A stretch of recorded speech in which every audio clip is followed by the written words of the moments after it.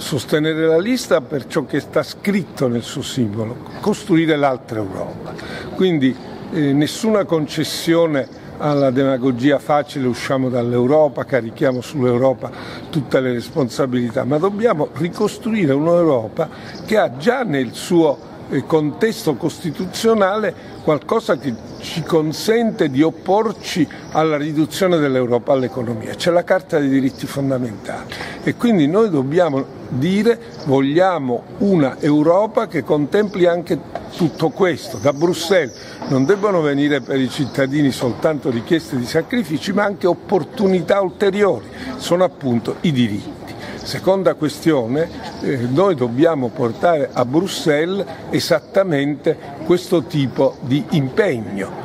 perché attraverso i diritti si contrastano anche i poteri economici. La Corte di giustizia dell'Unione Europea ha detto no alle pretese di Google, uno dei padroni del mondo, e dunque l'Europa ha le strutture e la capacità politica, se la vuole spendere, per potersi opporre anche a, quali, a, a quelli che governano il mondo senza avere nessuna legittimazione democratica. Terzo punto, questo tipo di iniziativa potrebbe contribuire, anzi dov- con-